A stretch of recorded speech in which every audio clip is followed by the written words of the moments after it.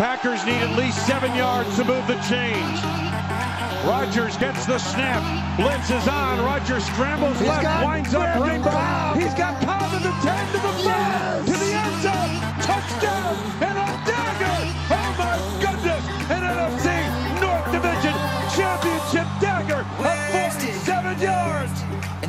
Chris Connie will stir and look out running at him and let him go right by wide open. But can, can the receivers get far enough down the field?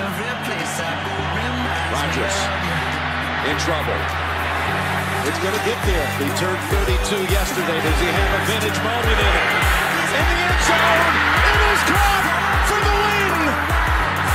Richard Rodgers with a walk-off touchdown. For the Packers.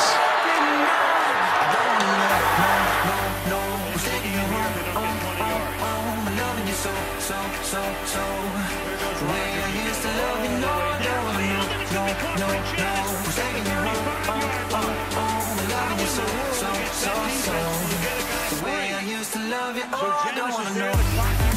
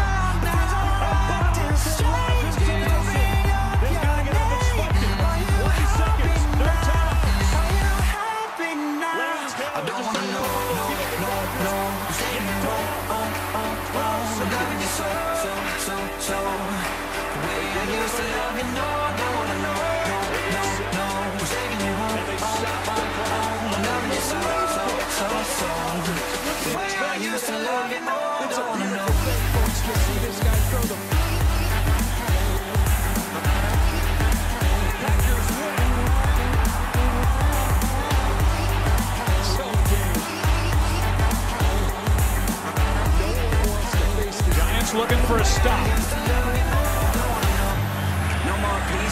Looking to air it out. Rodgers does this better than anybody. End zone.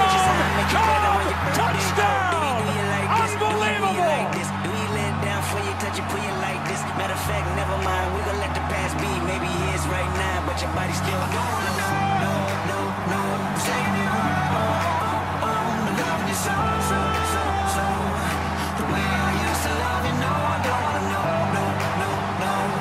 Play clock down to three.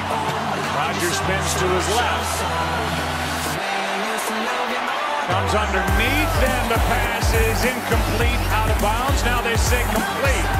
The official, the second one came in and overruled the other, Jared Cook, and with three seconds left, the Packers are going to have a chance to win it. That is unbelievable. Unbelievable. The first official came down the sideline and said incomplete. The official from behind the play said the catch was good and he was right.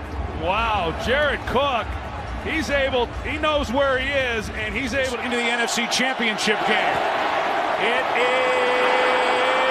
is good. The Packers are moving on. Aaron Rodgers has done it again.